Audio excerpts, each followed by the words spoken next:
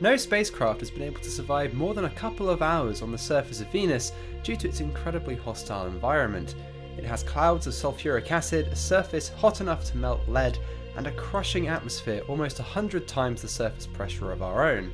These factors make it challenging for even the most advanced high temperature electronics to work on the planet.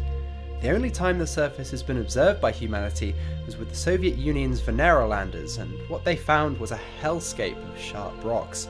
A robust and innovative mission would be needed to explore such an environment.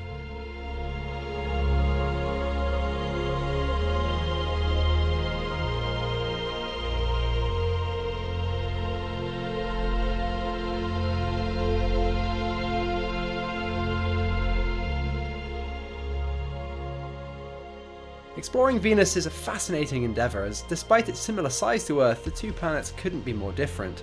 A rover could gain greater insight into why Earth's sister planet developed such extreme conditions and potentially help us to prevent such a runaway greenhouse effect happening to our planet. Our project is inspired by the work of NASA JPL and their Automaton Rover for Extreme Environments concept, which is a wind-powered semi-electronic rover designed for Venus's surface. However, our project takes an entirely mechanical approach. We are designing, building and testing the movement subsystem, the obstacle detection subsystem and connecting the two, the mechanical computer.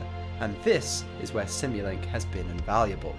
The computer takes a combination of 6 billion inputs in the form of rods being pushed and pulled by the detection system as it moves across the terrain.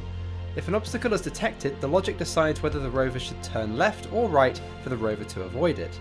This decision is implemented as a lever engaging one or both track gearboxes into reverse, depending on the manoeuvre.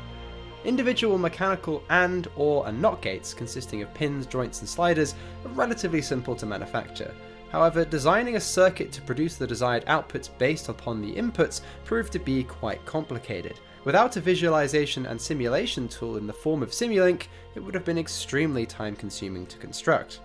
Our original logic was very complicated, with many gates and crossovers that would have been overly complex to manufacture. However, using a series of probes throughout the circuit, it was quickly simplified into what you see now.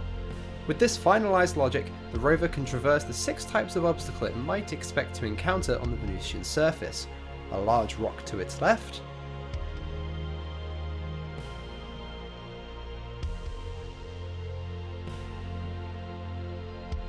directly in front,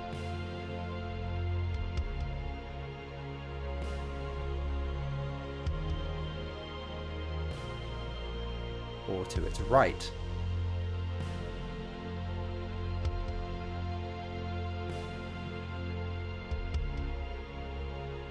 It can also traverse small fissures,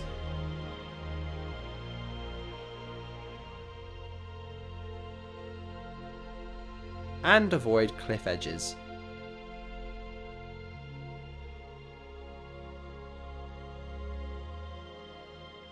Even combinations of inputs can be handled by the deceptively simple looking circuit. With Simulink, every physically possible combination of inputs could be quickly and accurately simulated to ensure that the rover can handle any type of terrain it might encounter on the almost completely uncharted Venusian surface. Thank you for watching, and thank you to the Tank Museum, NASA JPL, and of course to MathWorks for making this project possible.